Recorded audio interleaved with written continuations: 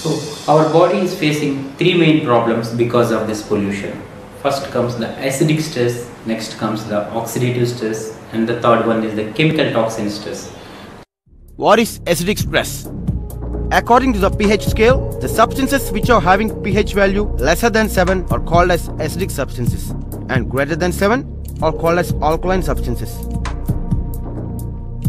Consuming these acidic substances will affect the stomach, intestine and other parts of the body, leading to acidic stress. What is oxidative stress? Due to the air pollution, our body is affected with lots of free radicals. A free radical is an unstable molecule that wants to steal an electron from other molecule or give its own way. This makes it highly reactive and destructive to important proteins and cellular structures, including your DNA. Free radical damage is also known as oxidative stress.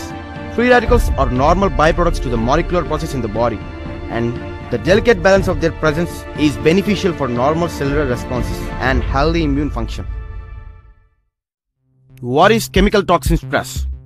We intake many chemical toxins present in our daily food, water, and air, such as sulfur dioxide, potassium bromate, sodium sulfite, artificial colors, synthetic trans fats, hydrogenated oils, and heavy metals like lead, fluoride, boric acid, and many more.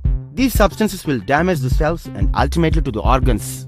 These three causes will lead to so many diseases we are facing in our daily life, such as diabetes, arthritis, kidney diseases, liver diseases, high blood pressure, high blood cholesterol levels, cancer, and many more.